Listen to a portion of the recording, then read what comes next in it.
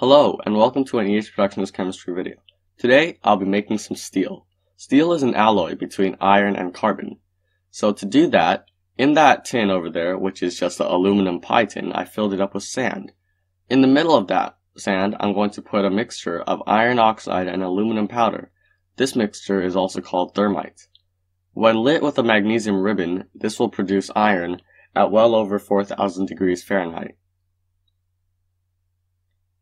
Now I'm going to add some charcoal powder as my source of carbon for the steel. Now I'm going to mix it up.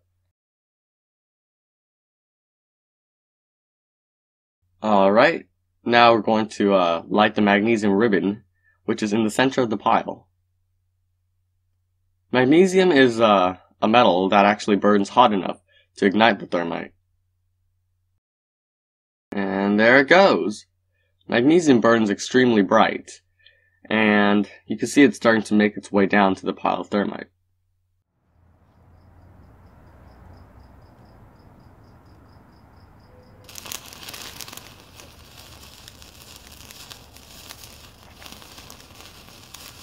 As you can see, the reaction is extremely bright.